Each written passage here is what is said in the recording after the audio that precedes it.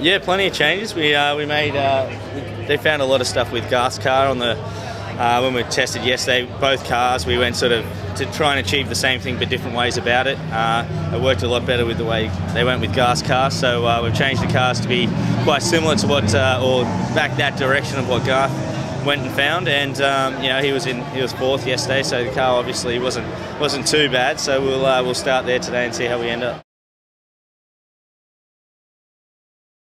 Yeah, no, it's been pretty good. We, managed to win a race first weekend, which was uh, which was great. We've uh, struggled with a little bit of car performance the last couple of rounds. Uh, just when we got back onto the hard tyre, really suffered.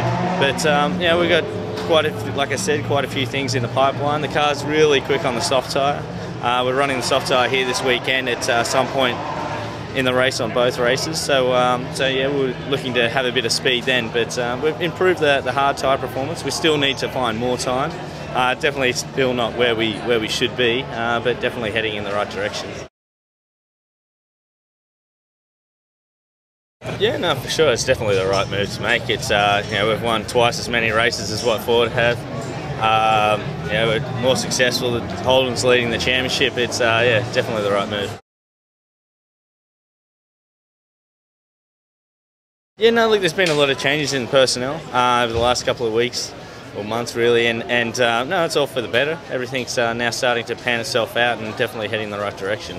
Yeah, look, they're not going to make a change to go backwards. Everyone uh, makes changes because they think it's the better thing and trying to evolve the business and, and move it forward. So uh, yeah, definitely wouldn't be uh, putting the wrong person in the position. We believe that uh, he's the man for the job, and, and you know, Ivan's doing a great job leading the ship, and, and also Mike here on on the on race weekend. So it's you know I think it's been a, a good change. Everything's panning out nicely, and we've got a lot of development parts that are on the way. And, and uh, no, everyone in the team's happier now than, uh, than I've ever seen it since I've been here. So it's uh, no, it's definitely a lot better working environment.